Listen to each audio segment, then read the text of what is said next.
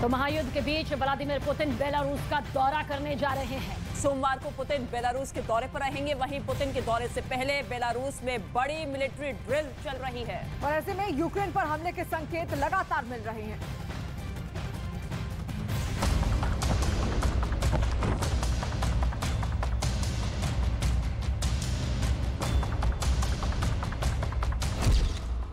Belarus की ज़मीन रूस की स्क्रिप्ट।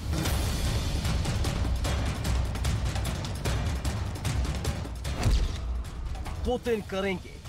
जल्द मिसाइल है।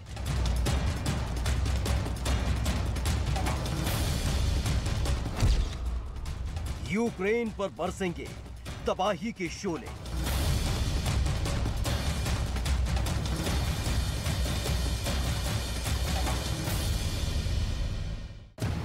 पूरी दुनिया इस बात की उम्मीद जगाए बैठी थी कि 24 फरवरी से जो युद्ध किया, रूस और यूक्रेन के बीच चल रही है। उसके शोले बर्फीले मौसम में शांत पड़ते नज़र आएँगे। क्रिसमस के मौके पर आगे आकर खुद पुतिन अपनी तोपों को शांत करने का आदेश देंगे। लेकिन पुतिन के एक बयान ने युद्ध के मैदान में फिर से दहशत का बम फोड़ दिया।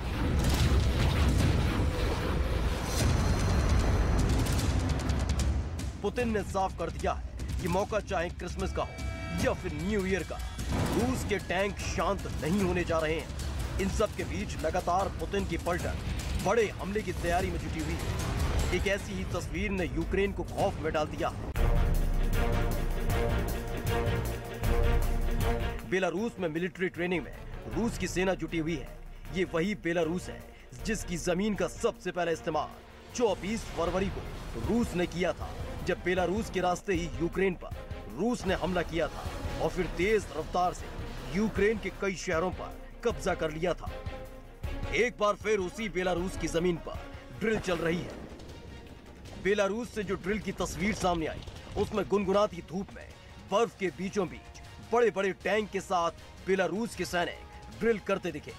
इसमें किसी तरह के विस्फोट या बम फटने की आवाज़ तो नहीं आई, लेकिन इस वीडियो के ज़रिए एक संदेश यूक्रेन को दे दिया गया है कि वो भूल कर भी क्रिसमस के जश्न में न खो जाए। क्रिसमस को सबसे बड़े त्योहार के तौर पर पश्चिमी देशों के साथ साथ रूस, यूक्रेन और आसपास के देशों में मनाया जाता है।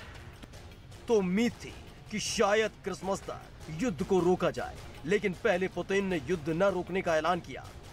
उसके बाद बेलारूस से ड्रिल की तस्वीर सामने आई है। जिन बेलारूस के सैनिकों को क्रिसमस की तैयारी करते दिखना चाहिए था, वो जंग के मैदान में लड़ने के लिए तैयार दिख रहे हैं। तो वहीं इसी बीच ऐलान किया गया है कि जल्द ही पुतिन बेलारूस के दौरे पर जाएँगे।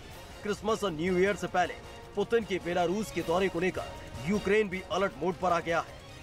क्योंकि एक तरफ़ बेलारूस में लगातार ड्रिल हो रही है तो वही दूसरी तरफ़ पुतिन का बेलारूस का दौरा यूक्रेन पर एक नए खतरे के मंडराने का संकेत दे रहा है।